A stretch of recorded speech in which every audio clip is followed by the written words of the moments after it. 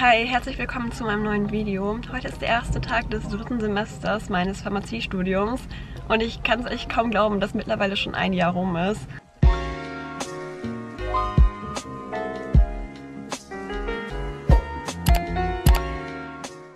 Jeden Fall habe ich noch nicht so ganz durchgeblickt, was wir heute haben. Auf jeden Fall erstmal so eine Chemie-Vorbesprechung oder so. Unsere Stundenpläne haben wir auch schon letzte, vorletzte Woche bekommen. Sieht so semi gut aus. Also ja, die Fächer interessieren mich jetzt größtenteils nicht so sehr, aber vielleicht lasse ich mich ja auch vom Gegenteil überzeugen. Das dritte Semester gilt bei uns auch als recht schwierig.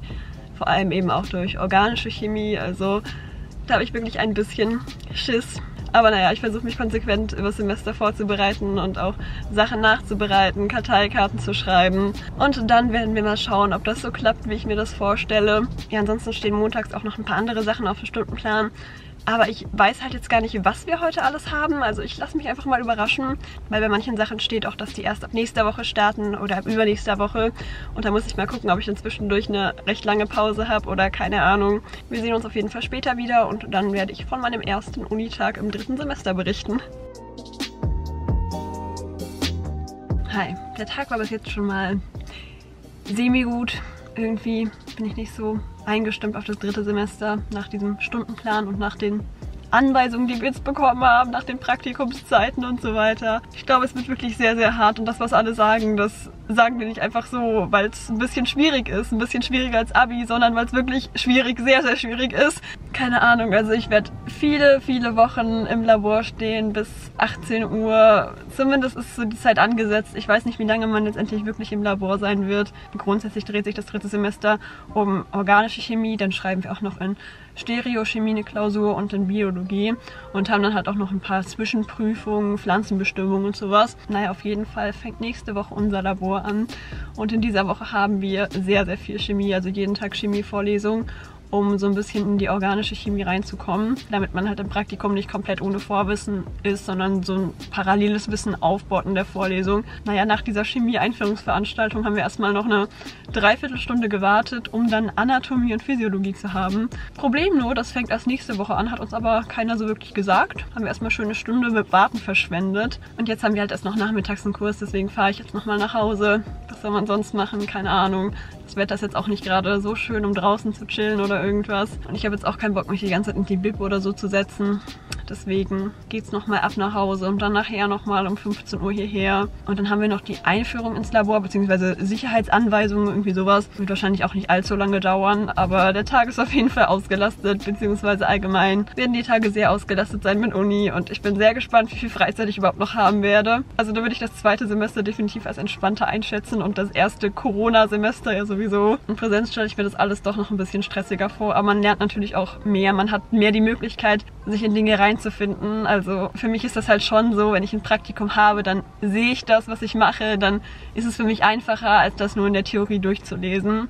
Aber trotzdem sind grob 170 Stunden Praktikum halt schon recht viel und ich frage mich wirklich, was man in der ganzen Zeit dann macht. Aber ein bisschen gespannt bin ich ja doch. Also wenn es jetzt mehr so in die Richtung Arzneimittel, organische Chemie geht, die meisten Arzneimittel sind ja organisch, dann ist das natürlich so ein Grundbaustein für die nächsten Semester auch. Also ich sollte in dem Semester nicht allzu sehr abkacken. Das ist auf jeden Fall auch nicht mein Ziel, aber trotzdem allzu sehr stressen und mein Leben komplett vernachlässigen möchte ich eigentlich auch nicht. Aber mal schauen, ich habe mir das Studium ausgesucht. Also man hätte damit rechnen können. Nein, ich weiß nicht. Also mal schauen, vielleicht wird sie auch gar nicht so schlimm, wie ich jetzt denke. So, ich habe jetzt gerade so ein paar Kleinigkeiten fürs neue Semester vorbereitet. Also neue Ordner auf meinem iPad angelegt, alles ein bisschen sortiert, ein paar Sachen ausgedruckt. Also ich bin noch nicht fertig, aber habe schon mal das Wichtigste erledigt. Dazu kam wahrscheinlich auch schon ein separates Video online, also muss ich dazu jetzt wahrscheinlich nicht so viel erzählen.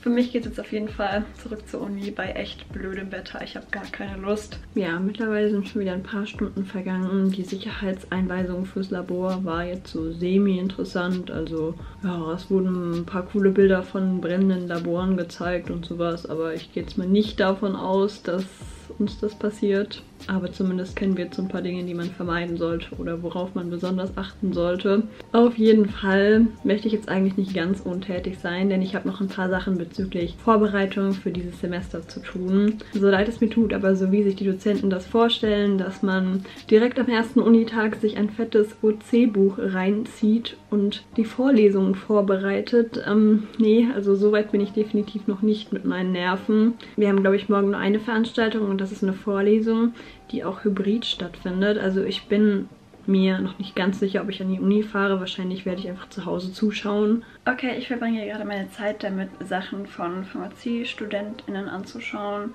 die das dritte Semester schon vor einigen Monaten, Jahren abgeschlossen haben. Das ist zum einen für die Klausurenphase echt super gut und für die Klausurenvorbereitung, aber auch am Anfang, um erstmal einen Plan zu kriegen, worum es in den einzelnen Fächern geht, um vielleicht schon mal passende Zusammenfassungen oder sowas zu finden, die man dann eben auch für die Vorlesung entsprechend nutzen kann. Finde ich eigentlich echt eine gute Sache und ich finde es auch toll, wenn man sich so gegenseitig unterstützt, weil irgendwie muss da ja jeder mal durch und man ist immer sehr dankbar, wenn man da irgendwas Passendes hat, was einem dann weiterhilft beim Lernen. Ich habe jetzt so grob die Ordner durchgeschaut, die es einfach von höheren Fachsemestern gibt. Es gibt wirklich einige Übersichten, die ich dann doch nicht so schön finde, dass ich mit denen auch lernen kann. Deswegen lade ich mir die von vornherein gar nicht runter, weil es einfach sonst ein Informationsüberfluss wäre. Und ich gestalte mir an sich auch meine Notizen und Mitschriften gerne selbst. Deswegen komplett mit der fremden Zusammenfassung lernen oder so würde ich nicht.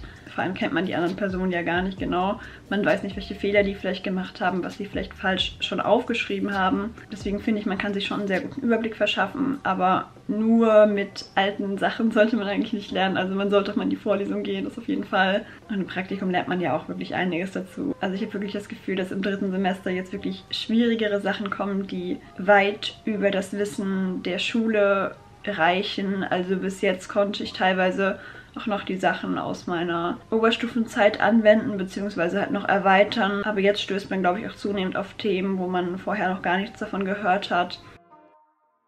Hi, guten Morgen. Gestern habe ich noch ein paar Sachen für das neue Semester vorbereitet und dann haben wir abends noch einen Film geschaut. Eigentlich wollte ich das Semester schon vorbereiten, bevor die Uni wieder beginnt.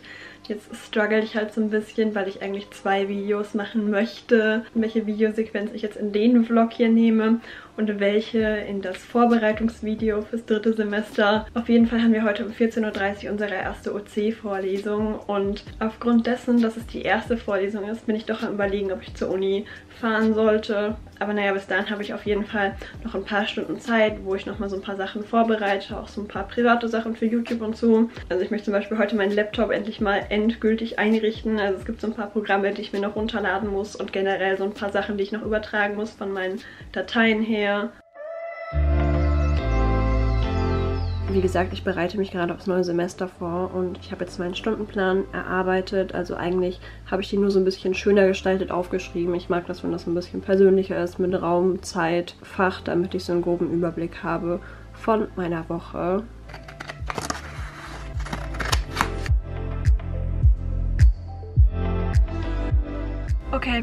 Habe die erste OC-Vorlesung hinter mir und ich habe wirklich Angst, was noch kommt. Also ich war wirklich überfordert. Also am Anfang ging es vielleicht noch, aber mit der Zeit, es wird immer schneller und es wird immer mehr und keine Ahnung, es ist halt jetzt auch nicht beruhigend, dass die nächsten Vorlesungen in OC vermutlich auch nicht besser werden. Aber naja, meine Hoffnung ist letztendlich, dass es mir in manchen anderen Fächern so auch ging, zum Beispiel in physikalischer Chemie oder auch mal zwischenzeitlich in Quanti oder so wo ich mir wirklich dachte, das werde ich niemals verstehen, aber dann habe ich es gecheckt und dann ist es letztendlich gar nicht so schwer, wenn man dann einmal das wirklich verstanden hat und dann kann man es auch anwenden.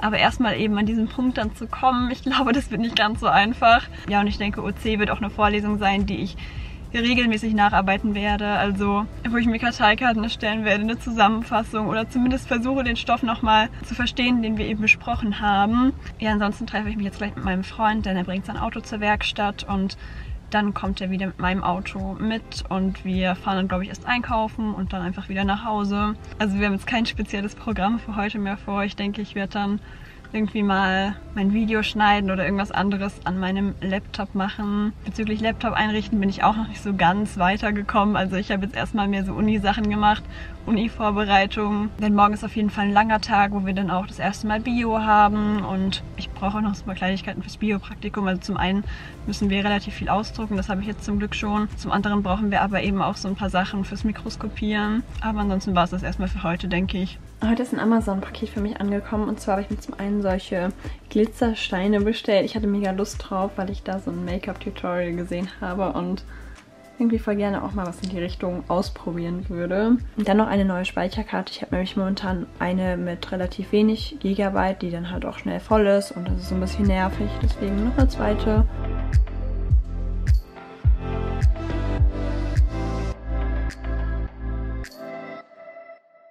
Ich habe jetzt gerade meine Tasche gepackt für morgen. Wir haben wieder Präsenz, Uni und ich muss auch wieder relativ früh aufstehen. Also ich kann nicht so schön ausschlafen wie heute. Währenddessen habe ich auch noch so ein paar letzte Dateien von meinem alten Laptop auf meinen neuen übertragen. Problem ist nur, mein alter Laptop hatte so ein paar Störungen. Ich habe ihn wohl so ein bisschen überfordert mit den großen Dateien. Ich habe nämlich meine Videos überspielt, beziehungsweise die Videos, die ich zwar hochgeladen habe, aber die mir besonders wichtig sind. Ansonsten geht es für mich jetzt ins Bett. Wir gucken heute auch gar keinen Film mehr oder so. Ist schon relativ spät. Ich war halt vorhin noch so ein bisschen produktiv, aber war auch etwas sehr lange am Handy und habe mich dadurch eben so ein bisschen abgelenkt. Aber naja, ich lasse Uni erstmal ein bisschen langsam angehen auf jeden Fall. Hi, guten Morgen. Ich habe auf jeden Fall gleich Bio. Da sollten wir auch so ein paar Sachen mitbringen. Also zum Beispiel Objektträger, Spatel, Zeichenvorlagen und sowas. Also vermutlich werden wir da heute auch schon so ein bisschen was machen. Dann weiß ich gar nicht genau, was noch auf dem Plan steht. Auf jeden Fall haben wir noch eine OC-Vorlesung, die zweite heute. Und eventuell haben wir heute Abend noch Toxikologie. Das ist eigentlich so ein Kurs fürs erste Semester, aber der hat damals bei uns nicht stattgefunden, weil so gesagt wurde, dass sie es versuchen aufs zweite Semester zu verschieben, dass es eben in Präsenz stattfinden kann und nicht nur online. Aber im zweiten Semester hat sich das dann irgendwie überlappt oder so, dass wir da nicht teilnehmen konnten. Deswegen müssen wir zum dritten Semester Toxikologie 1 machen für die Anorganik und Toxikologie 2 für die organischen Stoffe.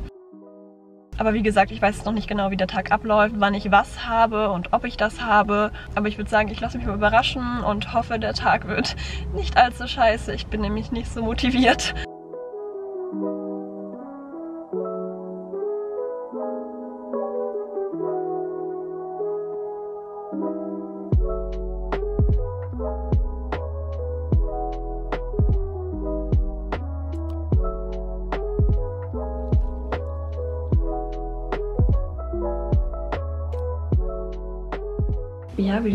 Gerade in der Bib und zwar habe ich ein paar Stunden, die ich überbrücke, weil ich von jemandem über Ebay noch ein Buch kaufen möchte und diese Person erst ab 19 Uhr zu Hause ist. By the way, waren wir heute auch in der Bib und haben uns sehr, sehr dicke OC-Bücher geholt, in der Hoffnung, dass die uns beim Lernen helfen. Ansonsten hatten wir heute Bio, das lief so semi-gut. Also es zieht sich schon sehr lange hin. Das waren, glaube ich, vier Stunden. Wir haben am Anfang erstmal viel Theoretisches erklärt bekommen, vor allem wie ein Mikroskop aufgebaut ist, was man alles einstellen kann. Also man arbeitet zwar schon recht lange mit einem Mikroskop, sowohl im Studium als auch in der Schule, aber so richtig erklärt bekommen hat man es halt nie. Man hat irgendwie immer versucht, an irgendwelchen Rädchen zu drehen, in der Hoffnung, dass man dann besser sieht, aber oft ist mir das eben nicht gelungen heute, wo ich jetzt die Einstellung wusste, ging das überraschenderweise echt schnell. Also Hoffentlich wird das jetzt auch die nächsten Male so sein. Wir haben erstmal so ein Übungspräparat mikroskopiert und dann haben wir uns heute mit dem Thema Stärke beschäftigt, also Weizen, Reis, Mais und Kartoffelstärke.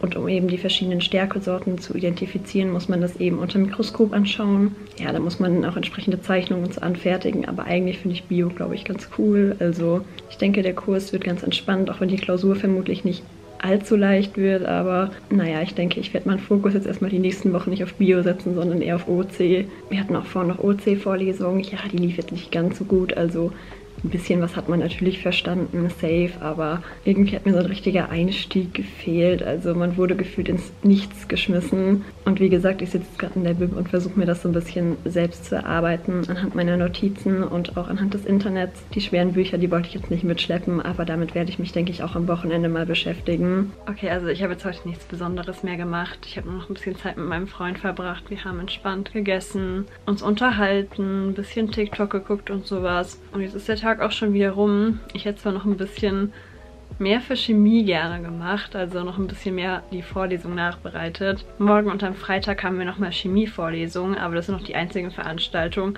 und die kann ich mir auch online anschauen. Also zumindest wird es immer aufgezeichnet. Irgendwie muss man das ja dann anschauen können. Ich möchte auf jeden Fall die Zeit morgen so ein bisschen sinnvoll investieren und mich mit organischer Chemie beschäftigen, um einfach mehr in die Themen reinzukommen. Ich habe gemerkt, dass mir das Nachbereiten wirklich geholfen hat.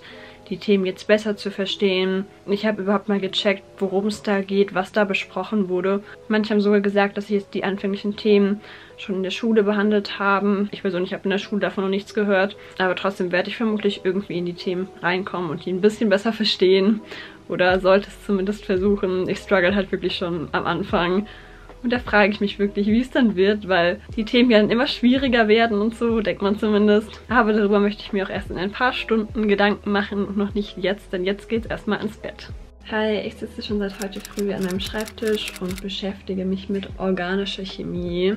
Ich arbeite da momentan einfach dieses Buch, wo so ein paar Grundlagen drinstehen, durch. Da muss ich sagen, hatten wir jetzt in der Vorlesung auch einiges schon ausführlicher, aber einfach um so einen kleinen Einstieg zu bekommen, der mir jetzt in der Vorlesung so ein bisschen gefehlt hat. Schade, das vermutlich nicht, das Buch so ein bisschen durchzuarbeiten. Ich mache mir auch parallel Notizen zu Dingen, die ich noch nicht wusste oder die mir ein bisschen bekannt vorkamen aus den ersten Semestern. Heute früh war auch eigentlich OC-Vorlesung, aber ich bin ja nicht nach Münster gefahren sondern die wird irgendwann heute vermutlich hoffentlich noch hochgeladen. Aber ich sitze erstmal hier mit dem Ziel, ein bisschen mehr von OC zu verstehen, beziehungsweise auch die ersten beiden Vorlesungen nachzubearbeiten. Okay, das mache ich jetzt gerade ein bisschen weniger mit dem Buch, sondern wiederhole eher die Dinge, beziehungsweise gucke mir auch so ein paar andere Sachen, Mechanismen an, um vielleicht die Vorlesungen ein bisschen besser zu verstehen. Also ich lese das Buch jetzt auch nicht richtig, sondern überfliege das wirklich nur grob.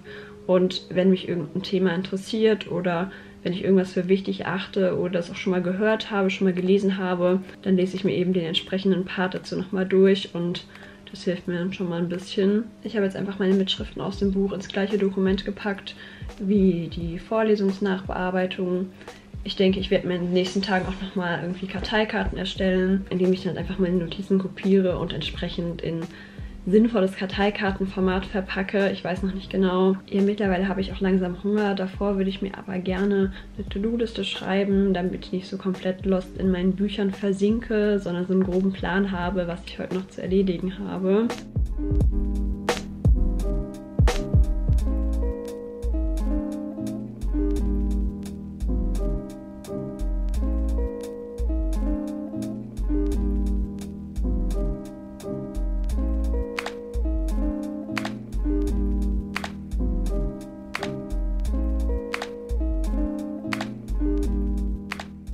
Ich habe meinen Zeitplan nicht so ganz eingehalten. Es ist nämlich mittlerweile schon wieder 17 Uhr und eigentlich wollte ich um 16 Uhr eine Pause einlegen. Ich bin jetzt aber komplett durch mit den Themen von den letzten beiden Vorlesungsstunden. Das hat super lange gedauert.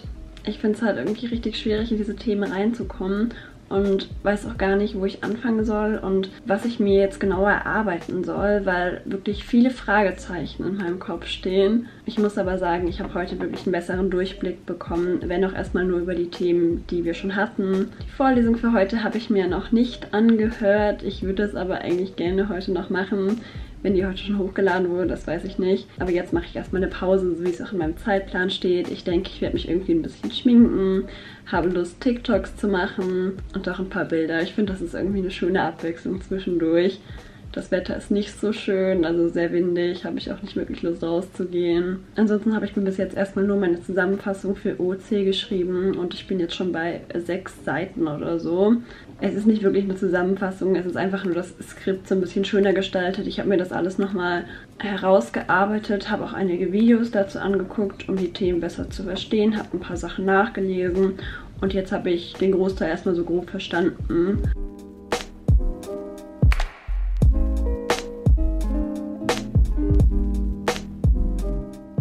Okay, ich habe mich vorhin ein bisschen geschminkt und habe ein paar Bilder gemacht und so weiter. Ich habe anschließend ein bisschen im Bett gechillt am Handy und habe meine Vorlesung noch nicht angeschaut. Ich fühle mich etwas unproduktiv, weil ich die einzige Sache, die eigentlich heute so auf dem Stundenplan steht, nicht erledigt habe. Ich könnte es zwar jetzt noch machen, aber seien wir mal ehrlich, wer hat um 20 Uhr dann noch Lust zu? Ich werde jetzt einfach einen gemütlichen Abend machen und morgen werde ich dann einfach die Vorlesung von heute anschauen und übermorgen dann die von morgen. Ich denke mal, so sollte es funktionieren. So am Wochenende mache ich ja auch immer ein bisschen was für die Uni. Ja, das dritte Semester soll es halt schon in sich haben. Von daher möchte ich da erstmal mit so gut wie 100% meiner Kraft rangehen. Und das werde ich vermutlich auch brauchen, denn ich glaube OC und Biologie und so, das ist alles nicht meine Stärke. Naja, auf jeden Fall werde ich dann morgen nochmal den ganzen Tag nutzen, um zu lernen, beziehungsweise um die Vorlesung anzuhören, um mir Sachen zu erarbeiten um mal in die richtigen Bücher reinzuschauen, in die dicken OC-Bücher. Ja, ich würde eigentlich sagen, das war's mit meinem Video. Also ich habe das Gefühl, dass es jetzt nicht so spannend war, aber die erste Woche ist halt auch mehr so eine Organisationswoche. Man muss erstmal wieder reinkommen ins neue Semester. Es finden viele Infoveranstaltungen statt. Man muss erstmal die neuen Fächer kennenlernen und ich selbst weiß ja auch noch gar nicht genau, wie ich dann lernen soll und in welchem Fach ich mir jetzt Karteikarten schreibe, wie ich lerne. Ja, nächste Woche beginnt dann auf jeden Fall auch Labor, bin ich auf jeden Fall auch gespannt. Dann werde ich auf jeden Fall nicht mehr so viel freie Zeit haben und ich bin auch ehrlich gesagt nicht so optimistisch, dass ich nach dem Labor noch viel Zeit haben werde, um die Vorlesungen Vorlesungen nachzubereiten, beziehungsweise ist man einfach nicht mehr wirklich motiviert, um sich noch hinzusetzen. Ich nehme mir auf jeden Fall viel vor fürs neue Semester. Ich hoffe auf jeden Fall, dir hat mein Video gefallen und ich würde mich freuen, wenn wir uns auch bei meinem nächsten Video wiedersehen. Bis dahin, tschüss und bis bald.